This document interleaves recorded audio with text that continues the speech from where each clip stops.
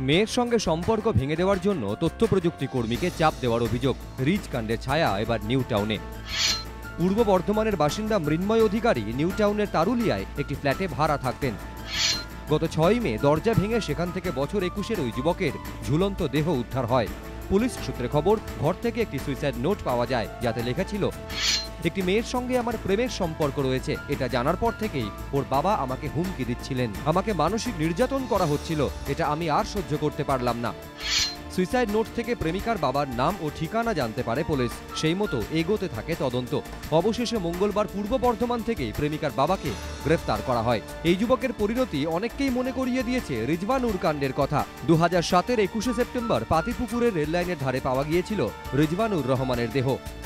অভিযোগ, তার সঙ্গে বাড়ির মেয়ের বিয়ে। মেনে নিতে পারেনি পরিবার। পুলিশ ও আরও কিছু প্রভাবশালী ব্যক্তির সাহায্যে চাপ তৈরি করা হয় রিজবানুরের ওপর। এরপরই রেল লাইনে মেলে রিজের দেহ। সিবিআই এর চার্জশিটে বলা হয় রিজবানুর আত্মহত্যা করেছিলেন এবং তার আত্মহত্যার পেছনে ছিল নির্দিষ্ট প্ররোচনা। একই অভিযোগে মামলা রুজু হয়েছে নিউটাউনের ঘটনাতেও। রঞ্জিত সাউ এবিপি আনন্দ।